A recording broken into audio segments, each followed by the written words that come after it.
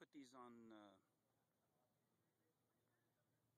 YouTube and then send a, a link so they can be posted at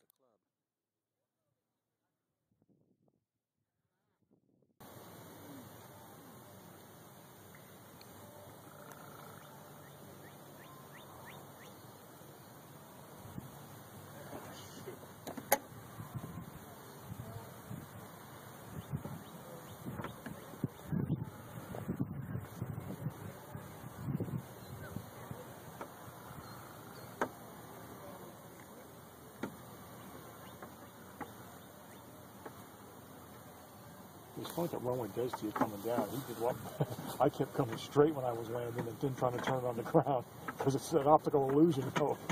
you don't you have to go around a corner. yeah, so we go along and know, it's a better way to do it.